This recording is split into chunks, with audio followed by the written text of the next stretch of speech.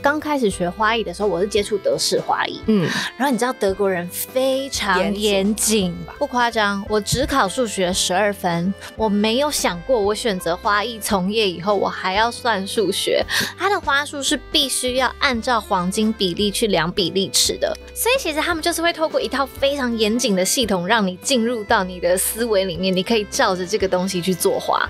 法国人不是，他觉得漂亮就好，来塞下去。是我说老师，下面叶子没关系，漂亮最重要，漂亮最重要哎，他们很自由，然后他们活在当下。我当下享受的这个植物跟花卉带给我的美好，胜过于它明天长什么样子。跟你讲，法国人是不包水袋的，真的吗他们马上就回家，然后装在花瓶里。他们也不包什么包装纸，这都是很自然的，用一个棉麻麻布，甚至是报纸，他就让你把这束花给带回家了。Hello，这个周末你要干嘛呢？周末就是享受自己的时光，那 L 一起陪你，就是度过这个好周末，一起共享 L Weekend。Hello，我是今天的主持人阿 Fra，然后我们很欢迎今天的法式生活观察家艾琳。Hello，大家好，你们好。我们今天介介绍正式的主题话题之前，现在聊为什么会做 L Weekend 这样子一个特别计划。对我也想知道对，因为就是 L 其实本身是一个就是呃留着法国血血统的一本杂志，他是一个法国人，然后他的名字也是一个法文，就是女生 L 的。就是女生的她，就是 L 的意思。我们会利用八个不同的主题来跟大家聊说，L Weekend 这个周末你可以干嘛？它有点像是一个你的呃周末体验的概念。所以今天很高兴，嗯就是能够找到这位花艺达人一起来不敢不敢，分享小小人，小哎什么小人？呃呃，小职人，小职人，对，就想说，因为你自己也曾经去过法国，然后我记得上上去年你也去年在就是法国去做就是呃花艺的进修嘛，所以就是想说来请你聊聊看，就是在法国进修的一些生活的体验啊，然后还有你看到什么样觉得有趣和冲击的事情。因为我在呃刚开始学花艺的时候，我是接触德式花艺，嗯。然后你知道德国人非常严谨，对他们做事情是一板一眼，嗯。对待植物非常的尊敬，一花一叶修剪各式各样的，不会说这样几厘米程。怎样，他都会很讲究吧？不夸张，我只考数学十二分。大家大家还有职考吗？我没有想过，我选择花艺从业以后，我还要算数学。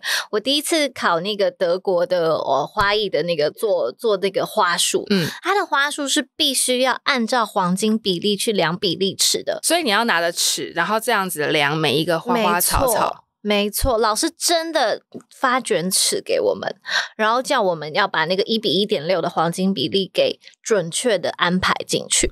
可是我必须说是有好处的，因为嗯像现在我已经熟能生巧了嘛，我其它实植入在你大脑里了嘛？就是你我现在马上知道这个完美比例怎么没错，所以其实他们就是会透过一套非常严谨的系统，让你进入到你的思维里面，你可以照着这个东西去做画。我觉得是好的啦，但是呢。学完德式的，我就会对于法式的那种浪随性。漫、随性啊，没有关系的那种感觉非常向往。所以那时候我就到了法国，我是上了一个非常有名的老师，他叫做 Kathleen Muller，、嗯对他现在也是自己经营自媒体经营的非常的好。然后因为他的教室就在那个杜勒利皇宫、杜勒利花园哦旁边，哇黄金地段呢？这什么完美的教室地点？然后过个马路，哎，公园到了。懂？然后他的他的那个教室的旁边就是那种人来人往的咖啡厅，就真的是第一区，巴黎第一区黄第一区金地段。，对，所以他就是会非常浪漫的扎了一束超级大束、超级澎湃的花，然后就叫学生大家全部扛着，然后我们去杜乐丽花园拍影片，很浪漫欸。超浪漫的啊、但我后来发现他上课的时间好像比拍影片的时间，嗯，嗯社群媒体时代，可能大家就是需要一些 影音的素材等等的，他有算计进去。对，但是就觉得哇，完全是不同的风格。然后嗯对于巴黎人、法国人用花的这种随性的感觉，我今天就是要展现出来它的味道。我不管它今天真的哦，你必须要兼顾它的吸水性好不好啊，有有没有足够的生长空间呐、嗯，完全是两两码子事。但讲一个好了，就是比如说我们在抓花的时候，像德式花艺，他就会觉得你的花茎、花脚一定要干干净净。我绑起来的那个绑绳跟胶带不可以缠到任何一丁点的叶子，因为植物会被 squeeze 嗯嗯就嗯挤压的感觉，或者是它因为这样它会喷一些汁液，所以导致你的水不干净，你的花吸水的寿命就会被延长。嗯，法国人不是，他觉得漂亮就好，来塞下去。是我说老师，下面叶子没关系，懂，它就是漂亮最重要。漂亮最重要哎，所以我就觉得哇，真的是有点颠覆自己的这种思维。可是我觉得这个对巴黎人来说，一个很重要的事情是，他们很自由。然后他们活在当下，我当下享受的这个植物跟花卉带给我的美好，胜过于它明天长什么样子，有没有？应该说这个真的就是非常的一个很法式精神没的错，样子。我觉得这真的跟文化的差异有嗯很大的关系，因为他们的思想是完全不被限制住跟封闭住的。嗯这也是我现在，哦因为我自己有一个四岁的小孩，所以我现在在教育他的时候，我也是希望可以发挥这颗小脑袋的无限潜能。嗯，所以就不想要去说很制约的去告诉他这件事情应该要怎么做，而是问问他，哎，你有没有什么想法？那我觉得在法国这个国家，他们的想法就是没有被局限的。老师甚至在教你的时候，他会说：“OK，好，我今天告诉你的东西就是我告诉你的，但是你呈现出来的东西是你自己的。那你要怎么做？具体方向是什么？你可以要求我给你建议，但如果你没来找我，我不会去帮你改。因为对他来讲，这件事情没有所谓真的绝对的的对与错，或是真的美或不美，因为这东西是很主观的。其实应该说，你就是按照你的方式去表现出你想表达的。样态对样态，因为花自己其实也有自己的样子，你也无法拦住他说我今天想要你这么直，或是这么弯等等，因为他有各种自己的样貌出现。但我跟你说，因为他大部分的学生都是亚洲人，嗯，你知道我们就是锲而不舍那，大家会不会就是非常的那个整个冲击上，就是习惯性的不同？完全不一样？然后就会追着他，请他就是务必给我们一些专业的建议。那 他给了你们什么建议吗？我感觉老师就是真的很想出去拍影片，他想说，大家请自由发，对好好自由发挥好吗？做你自己。其实我觉得他就是在帮大家开发自己，就是可能没想过的另外一自由的一面，对这样子。我也有去就接触过另外一个法国的讲师，那他的说法是说，我今天传授给你的东西里面可能有一些技法，有一些小技巧，是你可以就是把它挪去吸收吸收，呃，来做你的作品。可是这些不不管是我技巧，还是我传递出来的情感，传递出来的美感，到最后你要把它变成是你自己的情感，而不是我的情感，然后嗯你把它 copy 进去。那你的东西，你有你的情感，所以我对于你的情感，我他没没办法，也也没办法教你啊，对不对？对这是你的完全你的生活经验或是各种的感受。因为有请艾琳，就是特别针对法国的这个主题没错来和大家分享一下，为什么会就是特别这个这个。选择这样子的。我来我来拿好啊，你拿，但有有水要小心。没问题。我跟你讲，法国人是不包水袋的，真的吗？他们马上就回家，然后装在花瓶里。他们也不包什么包装纸，就他就其实为什么我今天是一个。捆一一一层而已，然后是稍微有点棉麻的这个质感的嗯包装纸。那原因就是因为他们其实都是很自然的用一个棉麻麻布或牛皮纸，甚至是报纸，它就让你把这束花给带回家了。那、你回到家你就丢花瓶了。那他们其实路程都很短，因为都在家附近买，所以他们根本不需要包这个水袋。那因为哦台湾太热了啦，对玫瑰还是不太一样或者样。千鸟本来就不不不那个不友善，对对啊，我今天就是用了玫瑰，然后用了千鸟，因为这个也都是在就是花园里面法国常花里面常出现的一个花，对，但是它的品种不太一样，因为我用的是呃厄瓜多的玫瑰，是切花比较常。会被使用的。嗯那我今天选的是非常浪漫、自由奔放的这个千鸟。那千鸟也是对，在花园里面，他们就很多飞燕啊、千嗯鸟啊，都是像是就是一只一只小鸟在在天空飞飞舞这样子的感觉，所以就是做了这一束花这样。那提到在巴黎，就是学花艺啊，或者是呃看这些花啊等等，还有生活体验，你觉得有什么让你是最冲击的事情吗？就是他们用花好像都不用钱一样，有这么夸在台湾，如其实我这样讲好了啦，其实一个国家每一个国家都有适合这个国家生长的植物，对，或者是邻近国家适合生长的植物。对，那你知道，只要一经过舟车劳顿，鲜花的价格就会变得很高昂，因为它必须坐飞机，它必须进口，它必须耐过这些时间对它的的考验考验，然后你又要好好的保存它，让它吃水，让它保冰、嗯保冷，这样就它真的会比较娇贵，因为它就是搭飞机过来，它需要一些照顾等等没错对。可是像其实我们在在台湾，你要嗯火鹤啊、兰花啊，其实也都是很便宜呀、都是都是很好，就能够去做出一个很派的花束出来。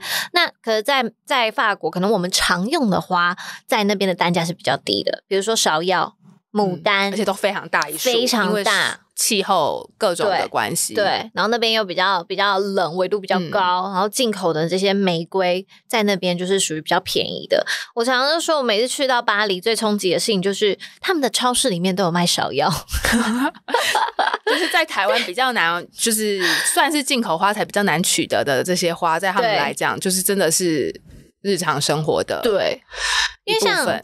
像在台湾，我的花店已经算是每天。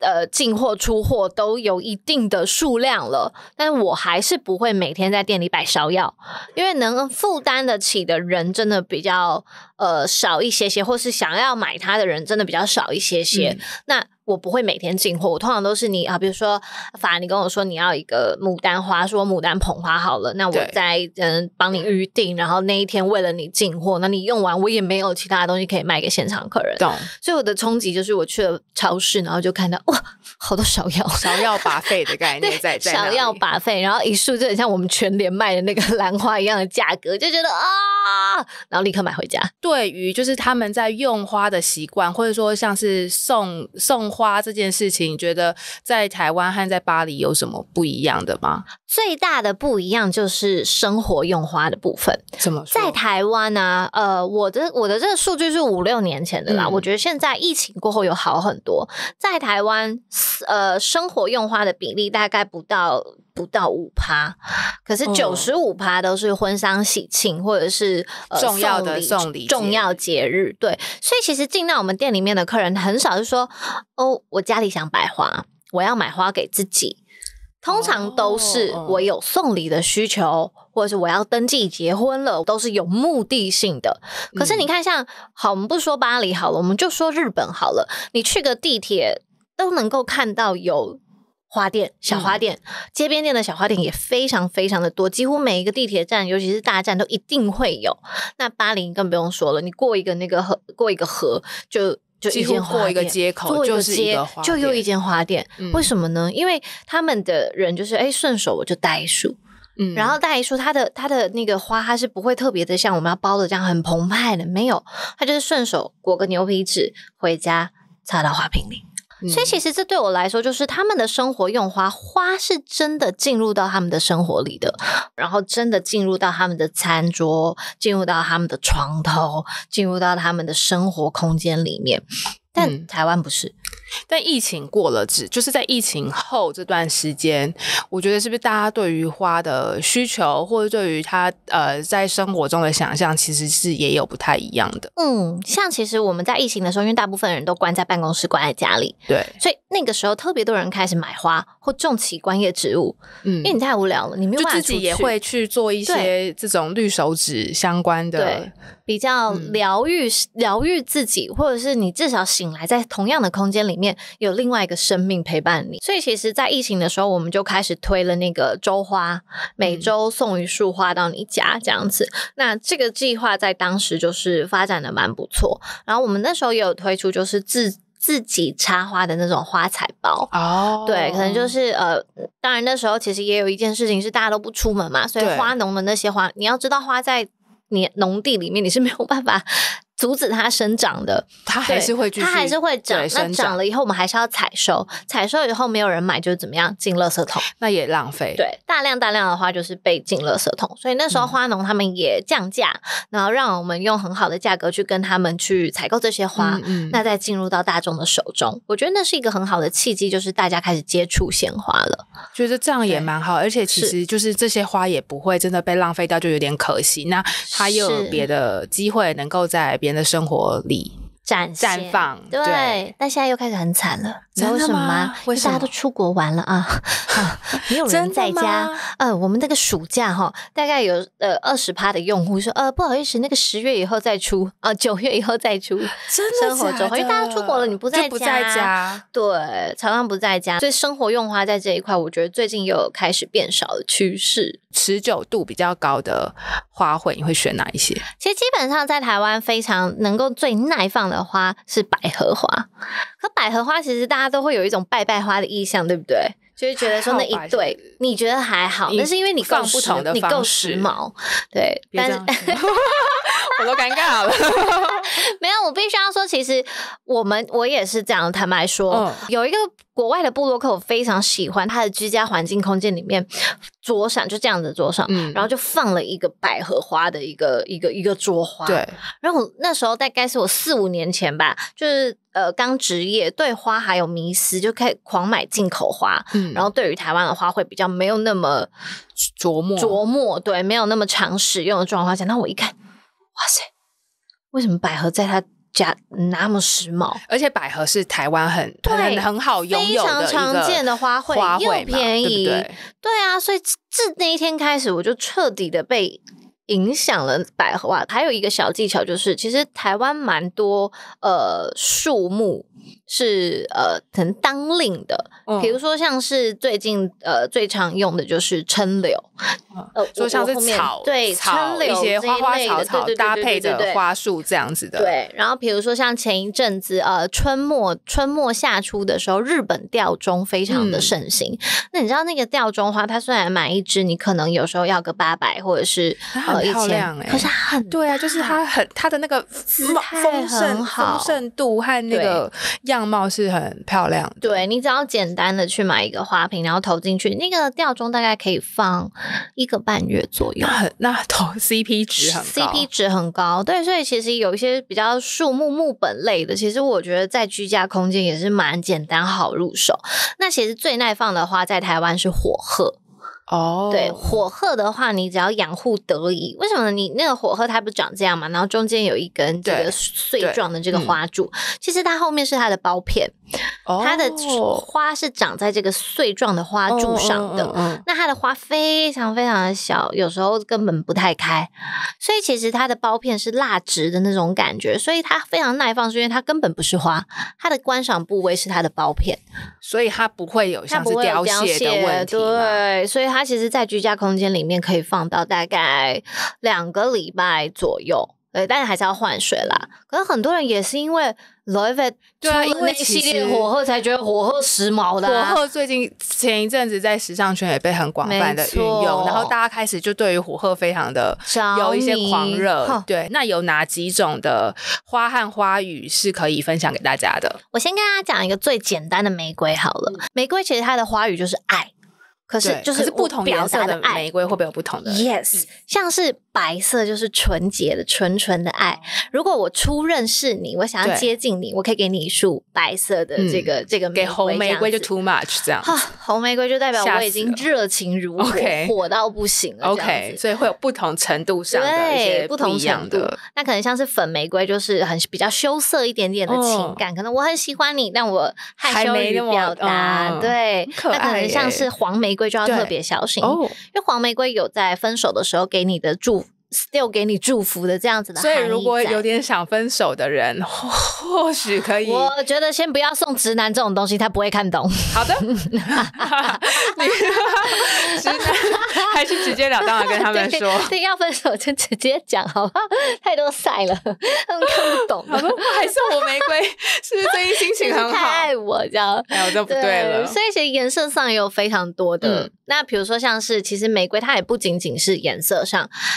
各位广大的男性朋友，你们知道玫瑰有催情的作用吗？你说这个花本身呀还是什么香味，还是是是，什么状态会让应该是说，呃，人好，先讲一个好了，就是人类其实身体是留着亲自然的理论的，亲自然理论的协议的，就是因为嗯其实，在远古、远古、远古时期，我们看到树木就代表我们有地方可以避应，有果实可以哦吃就是它会有一个对，安全安全感。对，所以为为了生存，那比如说我呃，它就会自然的亲自然。比如说像现在我们去到户外，我们可能待在呃录音室啊，待在办公室啊，待很久了，一出去看到就是山啊，你就会觉得哇，好漂亮啊，有一种放松的。感觉，对，或为什么大家要去公园吃便当？那个感觉 为什么不在办公桌吃？其实嗯也是因为其实大家都是爱好大自然的，这也是我们身体里面本身就留着血液，所以其实收到花你会不自觉的笑出来，你可能没会有会就是会有一个开心的，对。你可能没有发觉，但是其实你是开不自觉的微笑的。大家可以观察一下啦，哦，有这样的理论大家，下次收到花可以试一下观。察一下自己的反应对对对。那玫瑰为什么又会这就是说？第二个去提到的是，其实是玫瑰它的香气，在研究里面它是可以增加人跟人的性呃亲密感。我刚刚讲了一个比较，应该没关系吧？大家都成年了吧？对啊，或去做一些消音 之类的，就是它会，它闻到玫瑰的香气，就会让人家产生就是放松的情感。它是玫瑰，因为其实精油这件事情在台湾是比较不能够被提的，可能有一些法规啊、嗯嗯嗯卫福部啊有一些规定。但其实闻到玫瑰的精油，会让你整个人是感觉到非常的放松。所以其实有一些女生她们经痛的时候，可能就会选择有玫瑰精油的东西去做舒缓。对，那闻到以后，她就会自然的心情放松，心情放松，整个人的心情就会开心一点点。对，那在费洛蒙上面，它会也有一些可是其他的。花味、花香，不是说花香没有这样子的，应该是说大部分都有，原因是什哦么？你要知道，花朵其实就是花植物的性器官，它开的那么漂亮，为什么？为了要招蜂引蝶，对，为了要吸引虫类去帮它们授粉。嗯，对，然后或者是吸引人把它买回家，这是花朵的阴谋啊！你买回家，它掉了一个粉到地上，哇，它可能就播种，会不会世界灭绝，人类灭绝，然后花就是统治世界？我不知道。真的是脑洞大开的一个想法。，对，所以其实大部分的花，它散发出来的味道就是要去吸引昆虫的，所以花蜜啊、香气呀、这些东西都是让人家在交配这方面会有一定的喜悦跟愿意进行。就是会能够刺激大脑一些错喜没悦错的感觉，感觉和氛围你喜一喜悦了，你可能就可以哎。什么哎想做什么就做什么。做什么了？但是我觉得，其实在，呃法国或欧洲人来讲，这个东西都蛮日常。你看很多的设计时装设计师，他们其实从那么早以前，他们就把花当成一个他们的设计的元素。你看，嗯像大家想到香奈儿，就会想到他很喜欢的山山茶茶花嘛。花那因为他喜欢山茶花，是因为他当时最心爱的那个男人就是卡培男孩，他送了他第一束花。啊就是山茶花，那或像是 LV 的那个 logo，那个老花 logo 里面也有花的元素在，是。或是说还有一个超时尚圈的超级大花痴，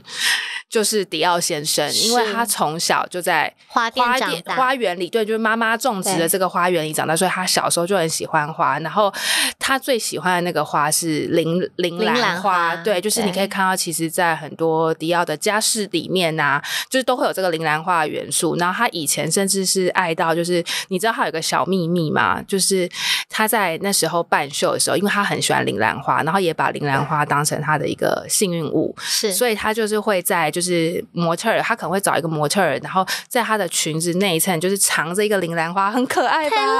就是藏着一一束小小的，或者是说那个呃叶子等等，就是它会有一个这样象征性的意义在，然后让它可以就是象征它的一个幸运，然后也象征一个就是呃幸福啊或是快乐的感觉嗯等等。所以其实花这件事情，就是不是只有说真的是。它的这个样子，其实也蛮多人会把它运用在生活上面的。对，然后像巴黎人，其实刚刚说到的，他们就是当下，他们的峰嗯值体验就在于我拥有花的这个当下。可台湾人就会想啊，啊要照顾它呢，啊啊可以放死掉怎么办？啊能放几天这样的？啊换水吗？啊拆包装吗？啊啊好麻烦。就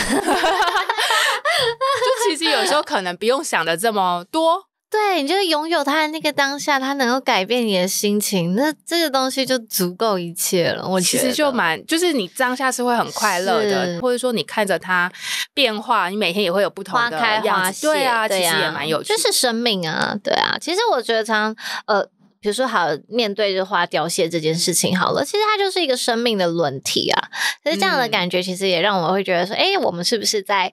更要去珍惜事情的当下，或者是发生的那瞬间的这些美好的感受，我们把它放进我们的小脑袋里面，这样子，嗯嗯，这也很法国。我们回到法 花语，法国的部分，花语和法国，如就是对你来说啊，就是刚聊了这么多嘛，然后你自己也去过法国，其实还去那边学了花，那。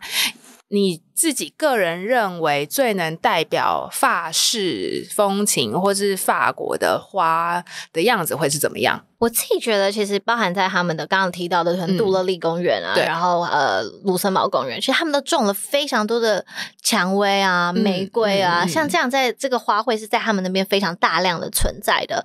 那或者是像是罂粟花啊，然后呃鸢尾花，在他们那边的公园也非常非常的常见。所以每次看到这几种花卉，我就会忍不住的想到巴黎的那一段这样子的一个时光在。那不过因为真的大家也没办法说，就是像是有。任意门天天就往巴黎走，或是天天飞巴黎。不过，如果说要在呃一般我们自己日常的周末，想要有这样子法国的这种一个法式的松弛感，或者是说能够有这样子呃带花的意象啊的各种的，让你的生活的氛围又更好一点的方式，你会有什么样的周末度？就是度过周末的建议吗？我觉得，因为像我自己有孩子嘛，而且像法国人，他们也是非常在乎家庭的。那像我住在法国的朋友，他们其实，在周末的时候，就会让呃，比如说像公公婆婆啊、爷爷奶奶啊，大家一起来家里吃饭啊，然后就去爬山啊，然后去去出去郊外走一走啊，去赏赏花、啊看看植物啊，这样子。所以我觉得，在在台湾，我们其实也可以多多的去走进户外，因为其实，在台湾的一些，比如说像是离我们最近应该是象山啊、阳明。山啊，其实台湾也有很多的植批是非常非常漂亮的，也很适合大家可以就是在周末的时候去走一走，跟家人们多一些在户外的相处，这个是是一部分。另外一部分呢，我就觉得呃，可能像是我自己吧，我自己在我的老家的那个居家阳台，我就有稍稍微的小小的改造一下。哦，怎么改造？就是我在那个阳台的话呢，我就去买了那种木质的木质跟铁件做的那种桌椅。就有点像是我们在法国可能饭店它的那个露台会有的那个桌椅感，然后就是买了一组，然后放在那边，然后可能铺个草地啊，然后旁边种个几个几几丛花啊，然后周末的时候有空回老家看家人的时候，就去阳台，然后晒太阳啊，看书啊，喝咖啡啊，啊，当然可能我也会带一束花回家给妈妈，就顺便插在那个阳台那边这样子。说到阳台，我觉得阳台也是一个非常很法，就是很法式的一个一个氛围，因为真的就是只有法国的建筑，每一家都真的有一个阳台的空间，它可能不一定很大，但是一定塞得下一个桌子、一个椅子，让人可以坐在那边，然后看看窗外，这也是一个看看奥运的进场。对啊，大家都大家都躲，大家都站在那里，或是有的时候，因为有一些时装秀会搬在户外嘛，然后他们真的阳，大家就会走出阳台，然后这样子往下。对，在看就很像是就是在看一个活动一起参与的这种感觉。那平常的时候在阳台边晒太阳，所以我觉得自己去帮自己的环境去做一些绿化，我觉得其实是也是一个蛮重要，能够能够让你的居家生活更开心、更更快乐、更放松的一个途径。对，就是在应该说在一个有限的空间和环境里面，然后可以利用一些小的。设计或是一些装置来来让它变得不太一样，或是植栽，然后好像其实除了花本身之外，花瓶。或是装花的器皿也蛮重要的，因为有时候就算你可能这这这段时间没有什么花卉，但是你放一个漂亮的花瓶在那里，其实也蛮有让生活空间能够提升。我昨天不是跟你分享吗？哪件事？哪件事？买花瓶的故事吗？我昨天花六千块买花瓶，然后我上个月的卡费是我人生历史新低，才两万。然后我八月我拿到薪水，我就是花了六千块花瓶，对。为什么会让你就是下了，就是心动到买了这个？这太喜欢啦，因为你就会觉得说，每一个花它有每个每一种植物有每一种植物的个性，那你就会想着这个东西它的个性，如果放到这个花瓶里面，它又能够展现出完全不一样的样子。所以很多女生可能买配件啊，买包包啊，然后我就想着买花瓶，因为我觉得我的植物可以有各种不一样的形态、状态跟搭配，可能跟那天我想要讲的故事，或者我想传递出来的氛围，我就需要那个酷东西。其实花瓶就可以把它想象就是花的一个配件，对不对？就是它可能就像我们会买很多不同的配件来做自己的搭配一样，花也有它适合的样子。那你本人有在巴黎才买过花瓶啊？当然。那请问要怎么带回来？好，第一件事情呢，还是请大家考虑手提了。对我们还是会有登机可以手提的，或者是登机箱你可以比较自己能够照顾的。那托运的话，真的就比较要小心一点点。但真的是跟大家推荐，就是你你在买花瓶的时候，因为它中间一定是空的，所以你就是把你的脏衣服塞进去就对了。因为它敲破的那一瞬间，如果它的那个里面是有柔软的衣服去抵住的，那就是它能够去防止它的那个那个破裂，对，会发生的那么快。这样，那可能外面的话也是啊。我常常那我现在不穿着长袜吗？对，我长袜我他妈拉到最最最最紧绷，然后已经可能外面有点松了，或是底部脏了，我不要了，我就拿来套花瓶。你说直接让套套起来，多套几层这样子，好像是一个很不错的方式。或冬天的话，就围巾，围巾不是这样长长的嘛，对不对？这样这一头塞里面，然后拉出来一点绕外面。好像 你把打包达人，打包达人啊！但有一次我打开，我就忘了我里面那个东西是缠这个花瓶的，然后我就把围巾上拉出来，然后花瓶就整个碎掉嘛？我都傻眼的，亏你包的这么好，那么久，亏他在那个货机舱那待的那么好，对，我还自己忘记把那个围巾再拉起来。对，但是这是一些打包的小技巧啦，大家可以用一些回来要洗的衣服或者是一些围巾把它藏起来。羽绒服也是一个很好藏花瓶的方式，方式就是拉链打开，叮叮叮叮叮叮叮叮叮，放好拉链拉起来。像我那时候去巴黎的时候，因为他们有一个那个 V A 的那个瓷器白瓷，虽然台湾也买得到，但是就是单价比较高一点点。然后这样应该国外选择再多一点。对对对，国外选择多很多。嗯，我那时候就买了四个回来。你也知道那个蛮大的，有这样子的，也有这样子的，然后全部都靠着袜子、围巾。对。各种的衣，当然那个贵哥很细心，他有帮我就是用纸再包起来。可是你也知道，我在法国能不插花吗？我就你在打开，然后又去花店买花，然后我上完课的花，我就自己在那边插，然后回头以后，我再自己再把那些纸弄上去，以后我就也是在外面再掏袜子、再掏衣服，这样。所以你等于是现买现用，然后现用再回去自己包装完，对，再带回来用。对啊。就是爱透了，其用很棒，太爱了，没办法不买。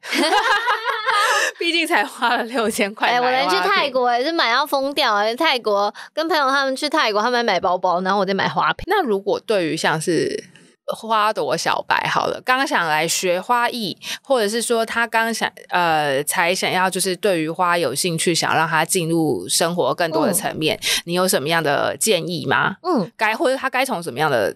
呃，准备开始。其实我觉得大家可以先去台北花市逛一下。就台北内湖的花市是呃批批发市场之外，它也是观光市场。所以我们的进花途径跟你们的逛花逛观光花市的途径一模一样哦，是完全一模一样。我们的接触的摊商跟你们接触的摊商就是内湖花市的那几个摊商。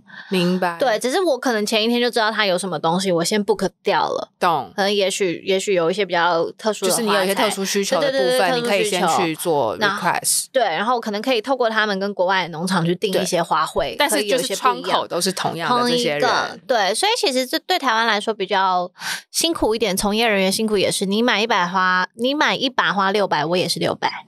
哦，我顶多是最后十五万零八千二十三的时候扣掉二十三，然后我还要加五趴的税，你不用。对，所以这其实对我们来说也是比较在从业人员比较伤的一点点呐。但是呃，这是题外话了，就是主要还是鼓励大家真的都可以进到内湖市场去逛逛。对，因为其实那边的花卉啊，包含现在进口的花卉花摊也非常的多元，不管是国产的、进口的，就是每一个摊商，你仔细去看。看，他们都有他们专长的地方。像里面有一台，它就是专门会呃能够拿到就是天堂鸟啊、垂礁啊，呃那种比较高山，他擅长，对他擅长去去去采集到的一些花卉。那有人就是特别的，比如说阳明山的绣球的花农，特别的把他的花给到某一个摊上，所以他的绣球花在绣球花季的时候就特别特别的多。嗯，对。那比如说每个人都有每个人的熟悉的部分，像有一些可能是进口花，它呃进口的比较多的是荷兰的花卉，对，那它的荷兰花卉就特别的特别的兴盛在那边。那我觉得先去先去晃一晃，大概知道有什么样的花，然后了解一下。回到家，你刚刚可以买一两把试试看。但我觉得其实呃有一个花我蛮推荐大家的，就是非洲菊。太阳菊，因为它很这样一球一球的，很可爱。然后非洲菊、太阳菊在过往比较多是进口的，可能一把你们买起来要三四百块、四五百块。对，那但是台湾的花农其实最近越来越厉害了，他们在种非洲菊上今年多了非常多不同的品种，然后买一把十支一百五、两百块，蛮轻松的。对，所以其实你到花市去逛一下。那如果说你真的觉得它的实质还是太多，对，那我的花店浪花花艺，嗯，就是我们的那个官方网站也有，就是所谓的线上花市，嗯，对，那在线上花市你就可以单支单支的去购买你想要的花，你就可以回家自己去做一些投屏啊，跟玩玩看，了解它这样子。那如果是想要知道一些比较怎么样去照护花的相关的知识的话，我自己是在社群媒体上面都会定期的去分享，然后录制一些花束啊、花卉怎么。照顾的影片给大家，那就谢谢艾琳今天的分享，谢谢阿发，也谢谢我的听众。对，然后因为其实 L Weekend 它不只是一个在线上我们会用 Podcast 的方式跟大家分享周末的生活体验，其实它也会有一个实体的活动，即将在十月中下旬的时候发生。那到时候应该就是会有像是音乐啊，然后也会有一些生活的市集或是花艺等的元素加入，所以就是大家可以期待一下。期待想要知道更多资讯的话，可以就是各种的订阅，各种的追踪，各。种留言各种的按赞喽，谢谢大家，也谢谢艾琳，拜拜，拜拜。